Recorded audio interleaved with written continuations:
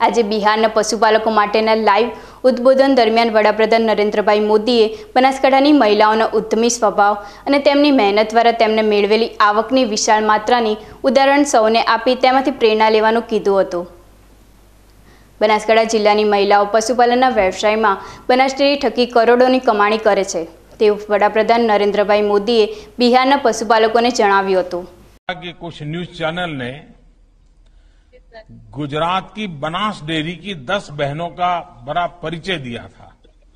वो गाँव की किसान बहनें थी, कोई ज़्यादा पढ़ी लिखी तो नहीं थी।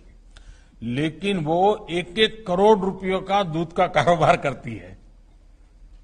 यानी अपने आप में सिर्फ़ पशुपालन और दूध का काम। अगर आप वेबसाइट पर जाओगी बनास डेयरी की या अमूल डेयरी की या साबर डेयरी की तो आपको ऐसी कई बहनों ने कैसे पराक्रम किए हैं? आपको बहुत सारी जानकारियाँ मिलेगी। तो मैं ज़रूर, मोनिका जी, आपने जैसे पढ़ाई में रुचि ली है, अब आप वैज्ञानिक तरीके से पशुपालन के इस काम को आगे बढ़ाइए।